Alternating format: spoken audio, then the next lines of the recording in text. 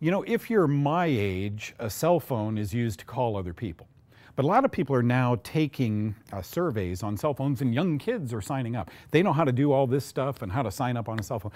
And it's fascinating some of the questions that come up. In other words, kids are comfortable reporting the days they drink alcohol. And usually, folks, that's Thursday to Sunday. I'm going to go back like 45 years of my life, almost the weekend. Why can't I have a beer? And then the weekend, I can have a couple beers. They're still doing it today. And here's the fascinating thing on days when young people exercise more, Thursday to Sunday, they drink more alcohol too. They're rewarding themselves by working out when they drink alcohol. And by the way, this makes sense to me. I've always told you the mold is penicillium. The poison it makes is called penicillin. The mold is brewer's yeast. The poison it makes is called alcohol. Why not work out? Why not detoxify? Why not sweat after you've drunk some alcohol? It just makes totally good sense to me. Young kids, you're doing everything right. What's fascinating is how honestly they report on their cell phone and maybe not so honest when they go into the doctor. Have you been drinking more alcohol? Mm, no. Let me see your cell phone. You have been drinking more alcohol. Here's what I would recommend if I were a doctor. Get rid of those mycotoxins, those poisons in your body after you drink alcohol. Young kids are doing it right. Begin doing this, and you'll find you need less this. Welcome to Know the Cause.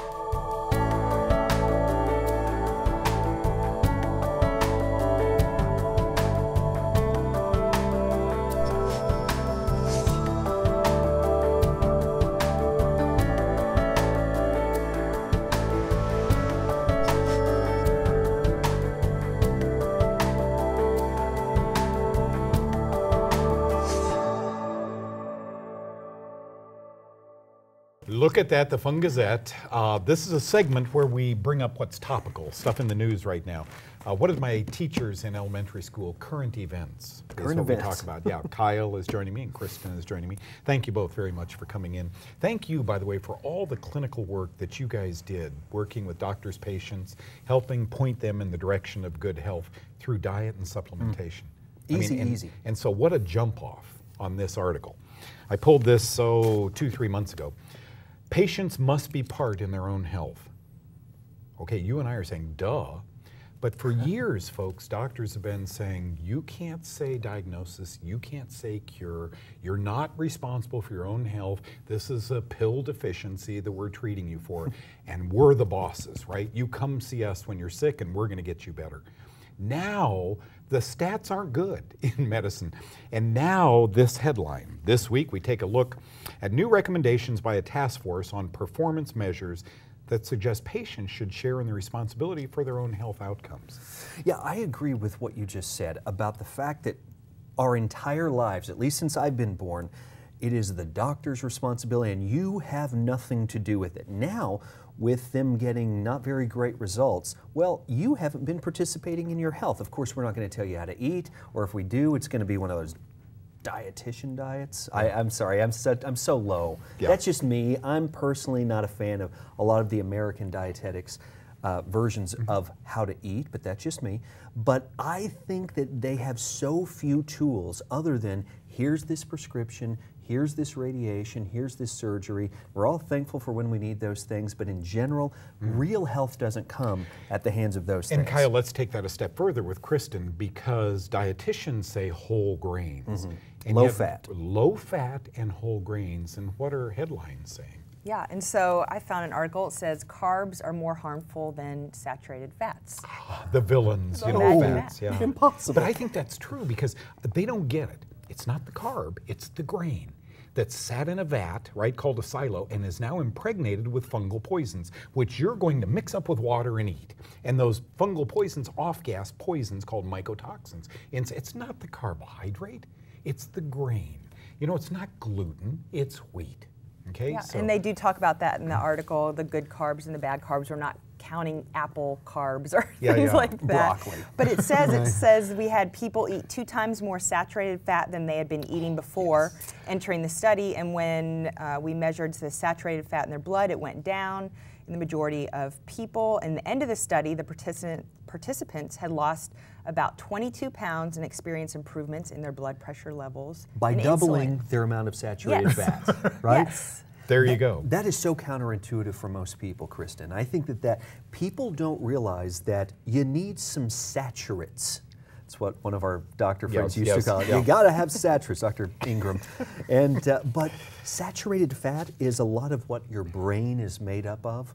You need a little saturated fat. Now we tend to think of saturated fat as some kind of fake shortening that you buy at a grocery store. Lard. That's not what we're talking about. We're talking about the good guy saturated fats like the coconut oils and things like that. olive oils, nuts, Palm oil. and things like you cook with all the time. And mm-hmm. by the way, thank you on behalf of so many of our viewers for taking what Kyle and I would have eaten out of a can for 40 years. You know, it, it's we have kind of spawned a lot of these diets. You know, the Mediterranean diet is very much like we talk about the good oils and so forth, and the paleo diet is the protein. Don't be afraid of protein and fat and so forth.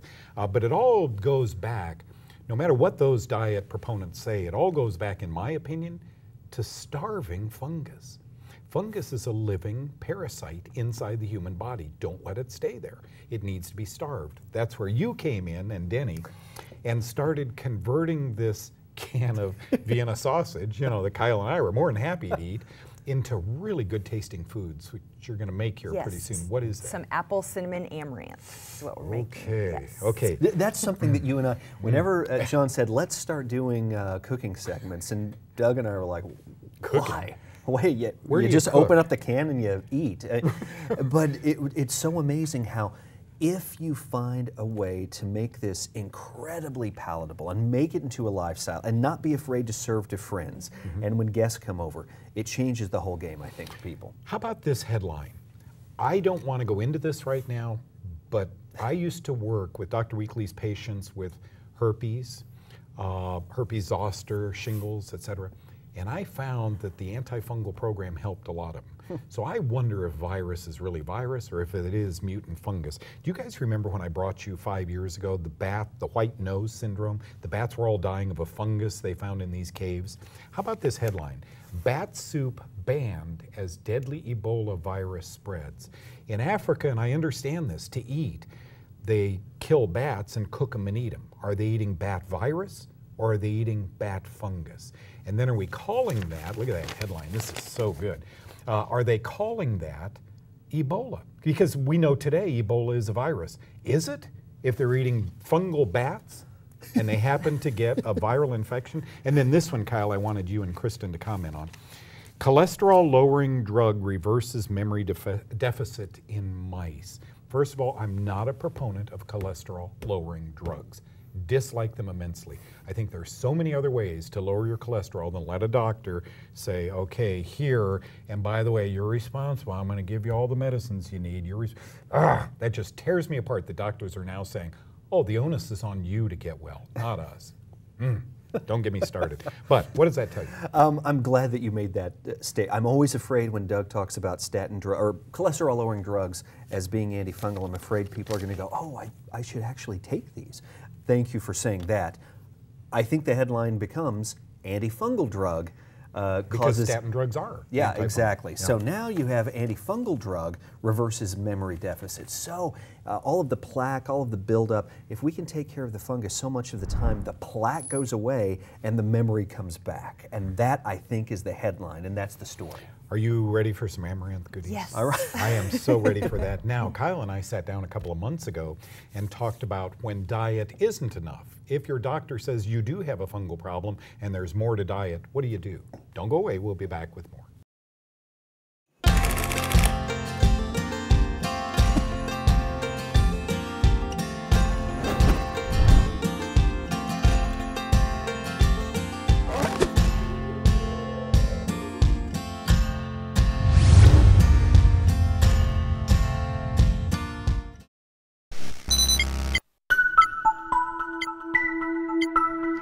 Heard Doug and I talk about a free sample of NSC Immunition MG Beta Glucan. Have you asked for yours? Just call and a free sample with free shipping is on the way. You see, when your immune response is working right, it's what you don't get that's important. Immunition Glucan doesn't make you pop, giggle, or fizz, but then hopefully you won't cough, wheeze, or sneeze either. Continuing U.S. medical school research proves how Immunition MG Glucan works. Tens of thousands of good people have received the free MG Glucan sample, then purchased NSC Immunition products. Can you risk not calling for a free Immunition sample shipped free? Help your body help you with higher quality NSC Immunition products with MG Glucan. Try it and know when you can, Beta Glue can. Hi, I'm Suzy Cohen, author of The 24-Hour Pharmacist, and I only recommend Dr. Ohhira's probiotics. You see, most probiotic products contain billions of freeze-dried bacteria, but that can aggravate bloating and gas. Dr. Ohhira's provides only live beneficial bacteria, plus their prebiotic nutrition. It supports noticeable digestive comfort. I believe in Dr. Ohhira's consistent results. It takes guts to feel great. Kyle, when is starving the fungus with diet not enough? Well, I think that you always have to ultimately kill the fungus. Mm. And by eating the phase one diet, that's what you're doing. You're going a long ways to first starving it. Plus, with all the vegetables and the good fruits that you're getting, you're getting a lot of those good antifungals mm. that will help kill the fungus. But sometimes you need a, a, a kick start. You've got the natural antifungals, you've got the prescription antifungals. Sometimes your doctor, under certain circumstances, will recommend a pharmaceutical antifungal, something like diflucan, something like nystatin, something like lamisil, sporanox. There's a whole host, ketoconazole. Right. There's a lot of antifungals. You stay on them for a certain period of time, but ultimately, a lot of us would like to be able to go to the health food store, yep. pick up some naturals. There's a few that I brought, and believe me, there are hundreds, thousands of good antifungals. You taught me that a long time ago. That's mm-hmm. another story. But here's just a few of these. Uh, this is called monolaurin. This is from coconut oil. It is nothing but antifungal. It's powerful. It's from lauric acid. Wormwood, which is known as an antiparasitic, also fascinating how antifungal it is. I brought this in. This is just zinc old-fashioned zinc. Not that zinc is more antifungal than one other mineral, but it's just an example of all the common nutrients that we find in a health food store that are antifungal. Here's one, old-fashioned iodine. Yep. Uh, people taking this for the thyroid. And this one, the only reason I brought this, and you don't even need to key in on it, I'll lift it up and show it to you. It is just homemade. I just made this one. I got a bunch of good essential oils and I put oregano, thyme, cinnamon, clove, thieves oil, that's a Young Living product, a lot of you know them, frankincense oil, also from Young mm -hmm. Living, and uh, medium chain triglyceride oil. This that's is the, the powerful. That's it's the got punch. the punch, right? Yeah. And it's powerful. You just take a, you got, have to smell this. Woo, just inhaling That's it. Potent. I just cleaned out all the fungus in my nasal tract. Wow. Okay, so folks, sometimes what I want you to know is diet is enough a month or two on the phase one diet and you feel good. What about deep mycoses, where the fungus keeps thriving and thriving and thriving despite your diet? That's what Kyle's talking about. Sometimes your doctor will prescribe strong antifungals for that, but a lot of times the health food store and the diet have the answer. Thank you, you for Thank you. Do you want to reduce muscle fatigue quickly? One supplement that could help is rhodiola. It's known to reduce ammonia and lactic acid from your blood, so it's perfect for muscle fatigue. As an added plus, rhodiola helps offset stress in your life, which comes in handy if you're dealing with a lot of emotional conflict and anxiety. The fiber in nopal cactus that allows it to absorb water in a desert acts as a natural sponge in your stomach, absorbing water and giving you the feeling of fullness without side effects. Nopal absorbs sugar, keeping it from spiking in your blood. Nopal's insoluble fiber then works down the intestines, acting as a natural colon cleanser, absorbing wastes. Call Seagate at 1 888 505 GATE to order. Check out our internet specials at SeagateProducts.com. Which of my books fit you? The first time I wrote this book, I called it What Makes Bread Rise. Many people didn't get it. The same yeast that makes bread rise can make us rise. So is there a fungal link to weight problems in America? Read the fungus link to weight loss. The diets are there, the prescriptive, the natural antifungals. I think you'll enjoy it, and I think it'll cost you a lot of pounds. Oh, morning cereal. When you were younger, did your mom make oatmeal, malt meal, you know, cream Malt-o-meal. of wheat, Yes, right? cream of wheat. Oh, I used to mm. love those things. A little pat of butter, huge amount of brown sugar, maybe some raisins. Okay, the reason we don't eat those things on the phase one diet is because grains like that are often contaminated with, you know, fungal metabolites. However, seeds don't go through that siloing process and so forth. So amaranth being a seed, that's okay. And this to me smells. I don't know if you guys. Yeah. Did you smell it? Mm-hmm. You made it. Yes. I mean, it, doesn't that smell like maybe malt meal? That smells great. It does. I Better can't than wait to malto meal that I had. Yeah. And that's what I wanted to mimic. I always used to eat cream of wheat, exactly like you said. And so I crave that in the winter. I want something hot and warm and sugary And and, good, sweet. right? And yes. will starve fungus. Yes, that will starve fungus. So the amaranth for me was the perfect um, substitute for that. Amaranth sometimes can have like a really earthy flavor, and mm-hmm. so all the cinnamon and spices and things really kind of mask that if people don't like that. Um, and it's a complete protein. It's got more calcium than dairy does, more absorbable I type read of that. calcium. I read that. Yeah. Do you so you put it, you boil some water like mom used to do, and then everything changes from there. Yes, Okay. yes. You boil That's the one similarity. Water. Boil water. boiling water, you put the amaranth in, a cup of amaranth. I use the kombu um, that I always talk about. I use it in a lot of soups. You can grind it up or just put, put it in and take it out at the end. Um, it's like adding a multi-mineral um, to your Real to your minerals. syrup. Real Real, nutrition, minerals. real yes. But does it? ta everybody wants to ask when they see this. They ask, "How in the world is this it taste?" really has no taste yeah. to it. Yeah, it's amazing. Okay, to Yeah. me, you guys, forgive me, looks like a piece of bacon. I put bacon in my cream of wheat. No problem there. Yeah, no doubt. and this is optional. You definitely don't have to use it. Right. Um, and then you've got your butter. Get a good quality butter and your coconut oil. I kind of do half and half because I love both. Um, and then a little xylitol. If you're sensitive to xylitol, you don't have to use xylitol at all. And I use the organic um, cow powdered stevia. You like cow, don't you? I do. Yeah. It doesn't have the, the maltodextrin as long as it is organic. So look for that. Uh, and then the cinnamon, which has lots of good antifungal properties that we love.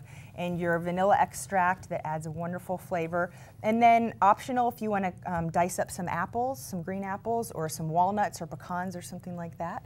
And you've got a great. Hey, let's go back to cinnamon. Mm-hmm.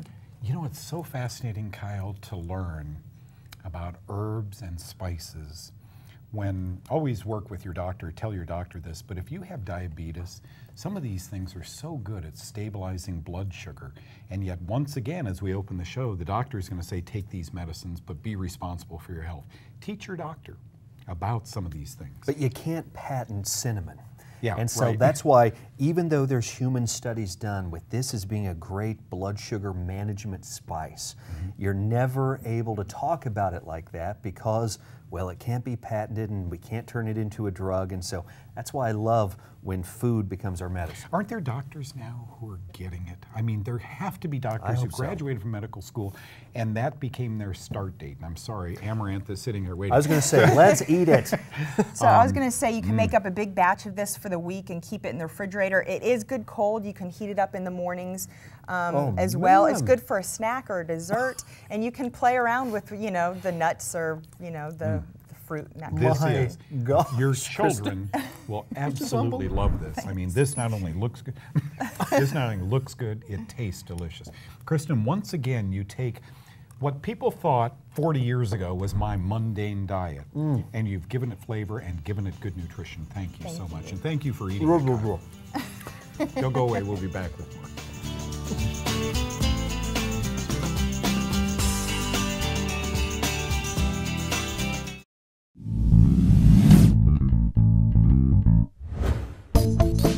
So, what are my top three tips for beautiful skin? Number one, cut out the sugar. Sugar helps, or actually makes you get wrinkles and deteriorates your skin faster than anything else. You are what you eat, so putting in good fruits and vegetables, the phase one diet will give you beautiful skin. Coconut oil is my favorite go to. I use it as my um, moisturizing lotion all over my body and my face. It actually has smaller molecules, so it penetrates deep into the skin and really helps to repair it, unlike most lotions and moisturizers just kind of sit on top of the skin. And water, you can't get any better than just lots of water. Lemon and water just helps to flush the body out. So coconut oil, stay away from the sugar, eat really good, healthy whole foods. The Phase 1 diet and water is a perfect for healthy skin. If you have knee pain, back pain, muscle pain, or any kind of pain, Flexin is here to help. But you don't have to take my word for it. Here's what this Flexin user has to say. Well, I recommend Flexin because it has worked so well for my wife and I, and we are able to continue our work uh, pain free as a result of taking this product faithfully. You've seen Flexin on Know the Cause with Doug Kaufmann. Now's your chance to take advantage of this great offer. It's buy one, get one free, but you have to call right now. Call 1 800 End Pain. Which of my books fit you? Can you cook your way to wellness? Can you eat your way to wellness? That's the name of a couple of books I've written Cooking Your Way to Good Health or Eating Your Way to Good Health. Loaded with recipes, whether you want to follow the Phase 1 diet or the Phase 2 diet. Please your families with good tasting foods, all put together in these two great recipe books.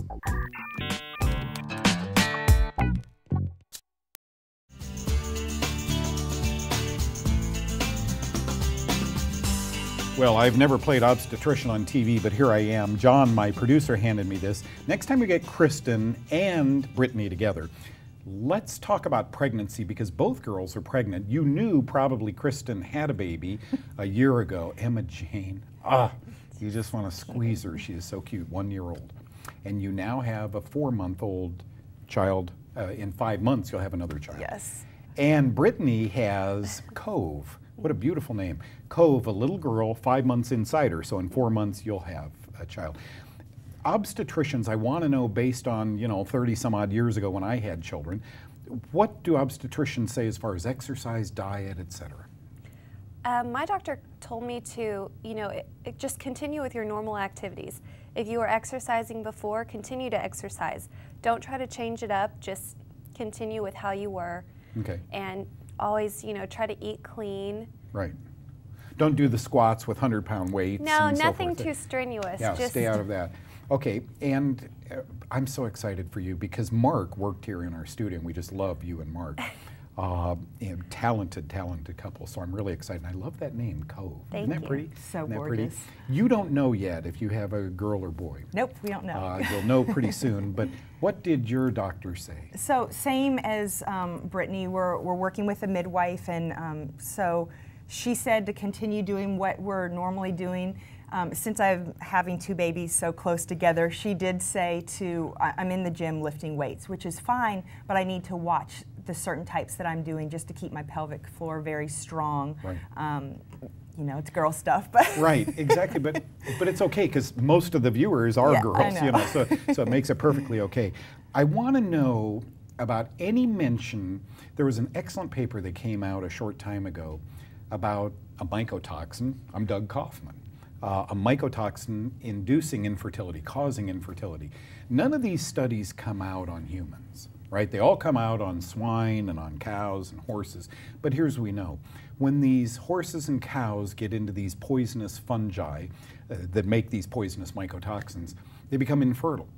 So they can't reproduce, which is kind of interesting, and yet that doesn't seem to transcend over to the human field. You, for example, Kristin, for seven, eight years, this has been the, the love of your, you know, life, uh, studying fungus, helping people with fungus, and even through infertility problems with it. Do doctors mention anything about that? No, I've worked with a lot of women that have, um, you know, been told they can't have children or they haven't been able to get pregnant, and they've gotten on phase one and they have gotten pregnant. So, be careful. I do not want at my front doorstep all these little baskets, right? That what I think infertility, you can kind of see it physiologically, the clamping down maybe on the uterus, the swelling, and so forth. Uh, so the sperm, you know, can't uh, do what they're supposed to do or what they often do. Was Cove planned? Uh, she was. We we did try for five months before we were able to get pregnant. But um, when I turned 16, I was diagnosed with endometriosis. Okay. And my doctor, and and up until uh, now or recently, always told me, you're probably going to have a problem getting pregnant. You may not be able to get pregnant. So that was a very um, touchy thing when mm-hmm. we did start trying. I always had that in the back of my mm-hmm. mind, but I just prayed about it and, and you know, and it happened. And you, you probably thought at month four, okay, you know, it's you know, not going to happen. Yeah. What does that do to your heart as a woman, newly married woman, um, that you know wants a family? Are you thinking at that point, okay, maybe that's not the plan for me? Are you thinking adoption? Well, each month it just you kind of got like we got a little bit more down about it, like oh mm-hmm. man, yeah, yeah. you know it's really true, and yeah. um, but I was determined. I mean, I just knew, I knew it would happen, and so um, you mentioned a birthing center. Did you not go to a hospital for the child? We didn't, but you know, I think it's everyone, every woman just knows in their spirit whether they should be going to a hospital or where they feel more comfortable. Wherever a woman feels more comfortable is where they're going to have the best birth. Mm. Because when you're calm, 90% of a, a birth is your mind and mm-hmm. your calmness and your positiveness. So I think mm-hmm. that's really important for women to remember is just to stay positive um, and wherever you feel more comfortable is where it's going to be. You best. know, Chris, our director. Well, Beth has decided for birthing centers also. Are there doctors associated with a birthing center? Sure, there. Are you doing yeah. that? My also? doctor is actually uh, associated. She has a birthing center. Wow. She um, has a whole staff of midwives. Uh, my doctor, I found she's right in between. She's whatever you want to do, we'll do. And um, these women. And so I, I was really lucky with finding her. And so, I mean, it really just comes down to whatever you want to do hospital or birthing center i'm there for both you know this boils down to the opening of the show where i got a little angry about doctors saying you know you're on your own kids but in fact letting you choose like that is a great great thing mm-hmm. thank you both for coming and sharing this information and the take home message here is fungus can cause infertility think about that no fungal problems here thank you